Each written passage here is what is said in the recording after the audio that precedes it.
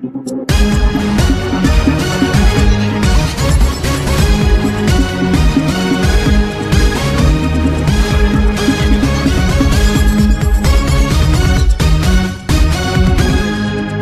Welcome to BT news. ప్రతిక్షణం ప్రజా సమస్యపై పోరాటం.